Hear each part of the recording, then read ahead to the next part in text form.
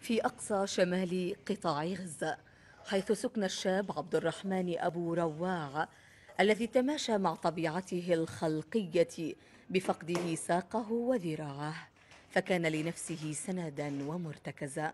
لم يركن على ذلك الطرف الاصطناعي الذي كان يحلم به وسعى لنيله ولم يتمكن منه.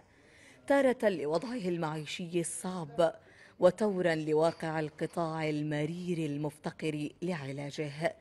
هو لازم الواحد يكون عنده عزيمة إنه يعمل يشتغل إنه يتأقلم على البيئة اللي على الحالة اللي هو فيها أو يصنع حاجة إنه يقدر يعتمد على نفسه فيها.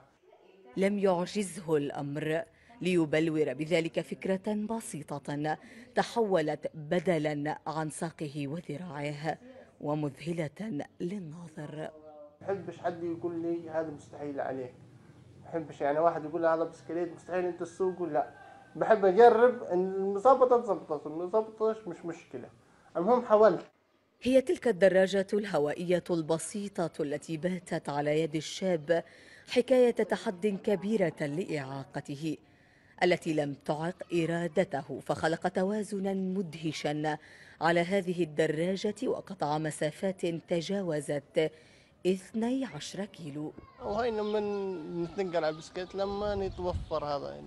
أنا حاولت كثير ومن وأنا صغير إني أركب طرف صناعي و أو أكثر من مرة وله لقيت ما يستشفوا يعني. بحاول أركب الطرف الصناعي برا في الخارج.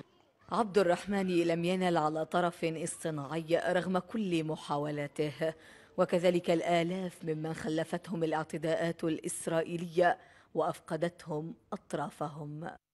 تأقلم عبد الرحمن مع حالته الجسدية والنفسية لكن على مبدأ الاختلاف كثيرون أفقدتهم مثل هذه الإصابات أجزاء من حياتهم الطبيعية. من غزة إسلام الزعنون تلفزيون فلسطين.